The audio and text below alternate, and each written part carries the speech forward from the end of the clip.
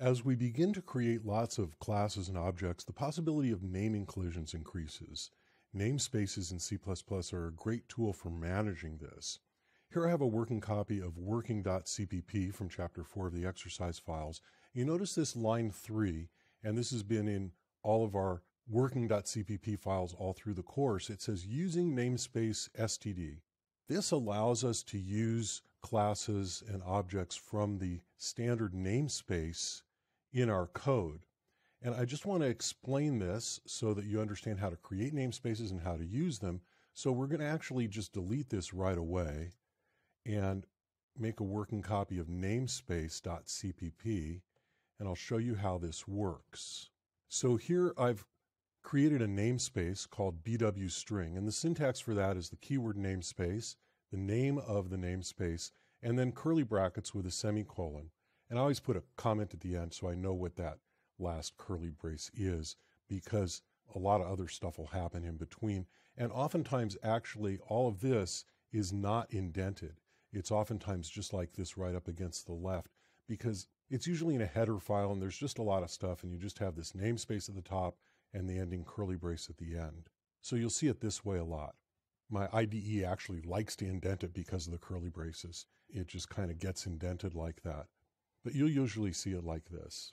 And so here I've created a class called string, and it contains a string from the standard library. So I have this string header up here in my include statement. And so this is just a simple wrapper for the string class from the standard library. And you notice that I can specify that this is the standard string by putting that standard namespace specifier before it, and that's always separated by the double colon. And then this one here is in my BW string namespace because it doesn't have another namespace specified before it, and I'm defining this namespace. And so this is a default constructor, and you notice that I'm preventing this default constructor by putting it in my private section. And in the public section, I have a constructor that takes a standard string and then it initializes my internal string by attaching a prefix to it. And the prefix up here is in this constant that says BW string like that. And so when I come down here into my main and I build and run this, you see that I create a string and I'm initializing it with S1, which is this other constant over here, which is also a standard string.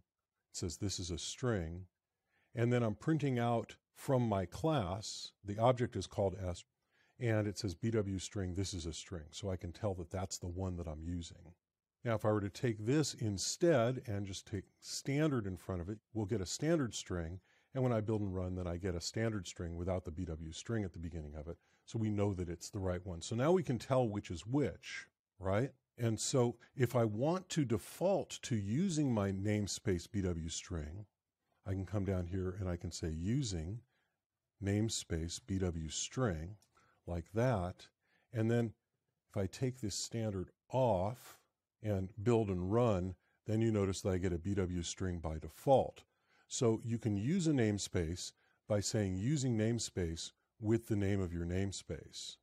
Alternately, if you just want to use a part of a namespace, you can say using BW string string like this. And now just for the string object, it will use that particular namespace. And so when I build and run, I get exactly the same result. So that's very simply how namespaces work, and you'll see some other examples of it in the course. Namespaces are very valuable in C++, and they're very commonly used.